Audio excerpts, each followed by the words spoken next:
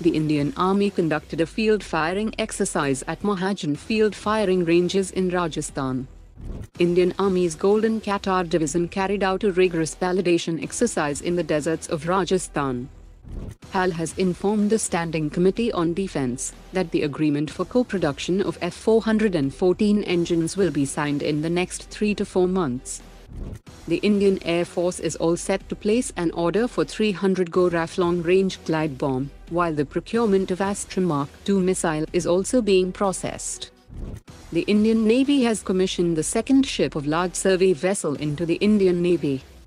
The US government has placed sanctions on four entities that were contributing to Pakistan's long-range ballistic missile program.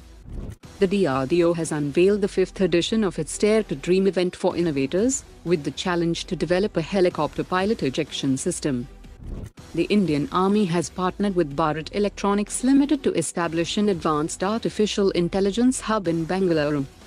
The Russian armed forces are on the verge of commissioning their first regiment of cutting-edge S-500 Prometheus air defense system.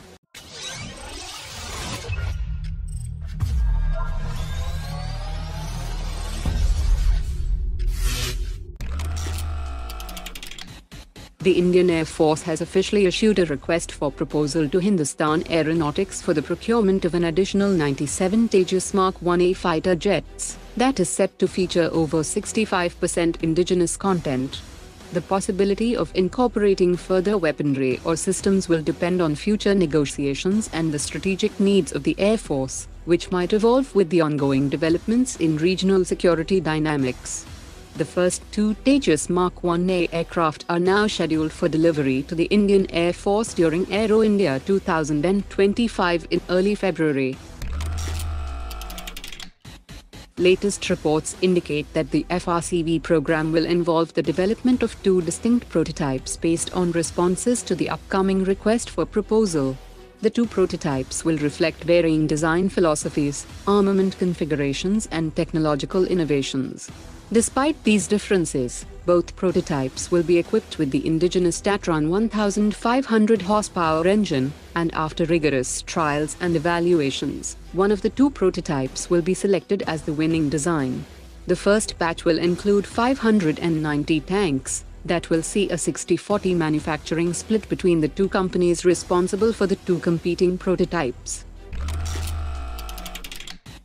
Officials have said that the upcoming TED-BF aircraft will inherit advanced features from the AMCA program that includes artificial intelligence-assisted automatic landing and takeoff system designed specifically for carrier operations that will allow the aircraft to perform these maneuvers autonomously with minimal input from the pilot.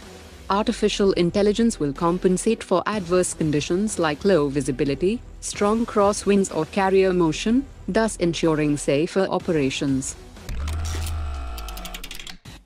The executive director of Solar Group has confirmed that after induction by the Armenian army, several other nations are currently in various stages of negotiation for the guided Pinaka rocket system.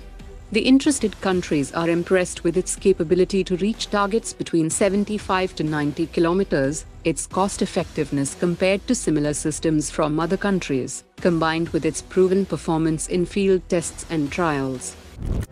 Today's top 3 comments.